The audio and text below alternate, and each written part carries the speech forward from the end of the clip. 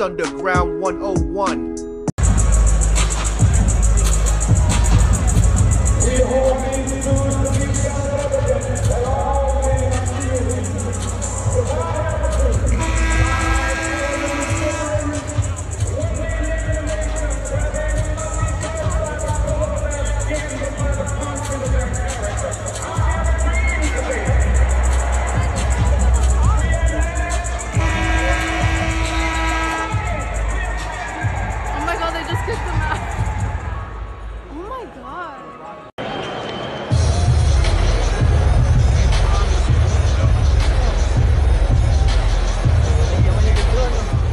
The incident went down during the Lakers vs. Oklahoma City Thunder game at Crypto.com Arena Los Angeles last night.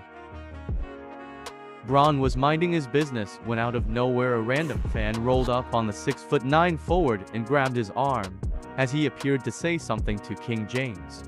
James was caught off guard by the random stranger touching him, and to be safe, James shoved the guy off. And about the same time, a security finally noticed what was happening, and they escorted the guy away.